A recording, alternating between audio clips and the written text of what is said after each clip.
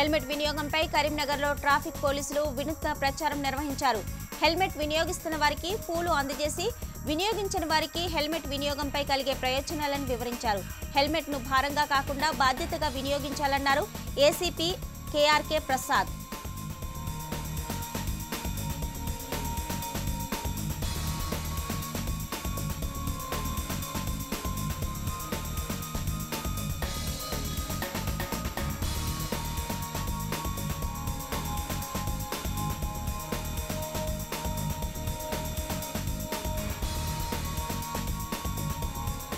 ఈ వీడియో మీకు నచ్చినట్లయితే లైక్ చేయండి షేర్ చేయండి.